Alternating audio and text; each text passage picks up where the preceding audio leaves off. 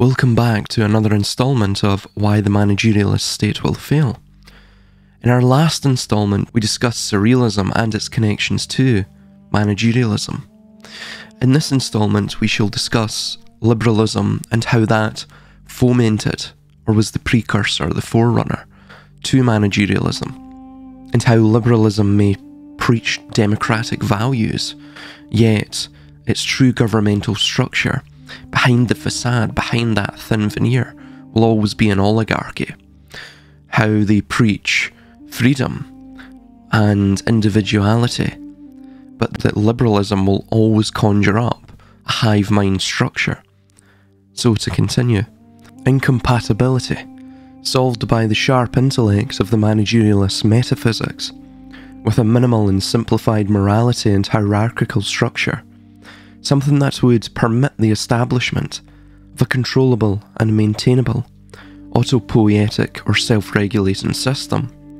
To attempt to establish this ostensible universalist and simplistic moral structure is the calling of the managerialist, though such a structure is largely unnatural to the participants of this hodgepodge agglomerate, this writhing, undead mass of multiculturalism the universalist, yet reductively materialist moral structure, or the touted value system that the postmodern West supposedly holds to now, the nauseatingly vague and arbitrary values of inclusion and diversity, is only maintained to ensure the facade of the crumbling tower holds a little longer, for the pluralistic populace to interact and trade, temporarily forgetting their chasmic differences and innumerable divisions.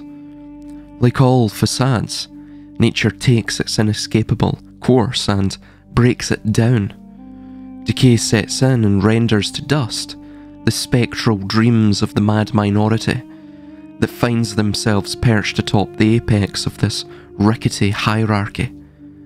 Thus, this moral structure further ensures that the managerialist elite never really have to address those annoyances of congenital and ethno-cultural divisions that are inherent to a multicultural demography.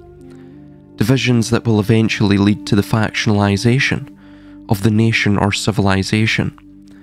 Come the perceivable and eventual collapse of the central government, and a patchwork of city states, competing ethnic enclaves that will coalesce and form from the ruins of the once unified managerialist state and nation. War shall be the defining element, the cornerstone of the coming age.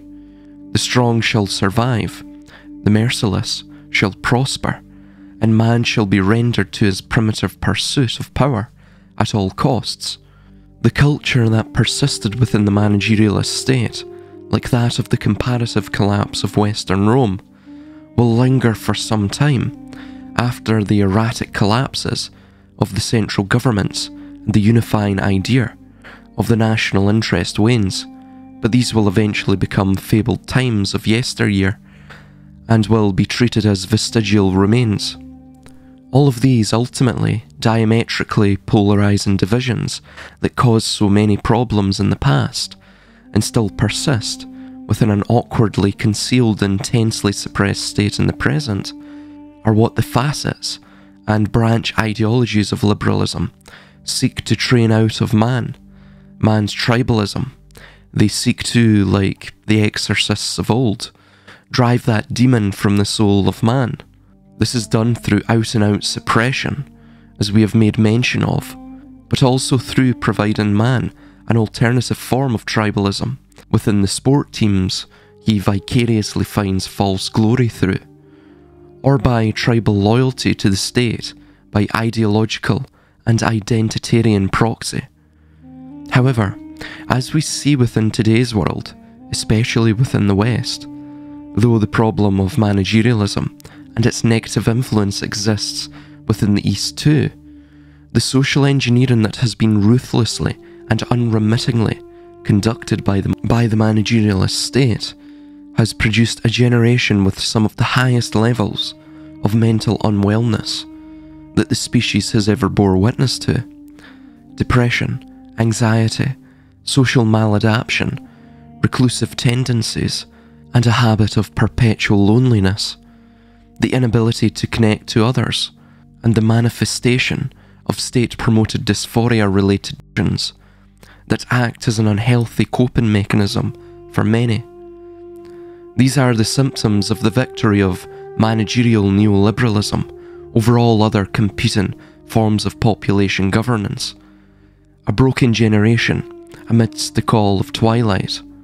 The Omega Man that rests upon the bones of his ancestors.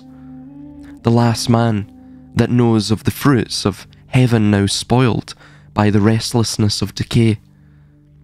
He is visceral with grief for the loss of that which he cannot describe, yet misses dearly, though he can do nothing but be drowned in the deep reservoir of his own phantasmal imagination, the bastion of his escape. Purloined the sun now is, fallen under the axis of the horizon it has. The abstract is far more tempting within the unreality of reality. Dreams within dreams, shadows of shadows, to light the fires of the beacons on the hallowed slopes of those ancient mountains and echo forth into eternity the proclamation that there are indeed still faint glimmers of compassion and magnanimity within this slaughterhouse known as society. That man may still be free, his spirit may still be unchained from the fatalism of cyclicality, and that we may emancipate ourselves from the grief of the material burden, basking within the blossom of a new spring, under the tutelage of a great calling of pure potential realized through beauty, grace, and harmony. Quote, the worst form of inequality is to try to make unequal things equal. Unquote. Aristotle.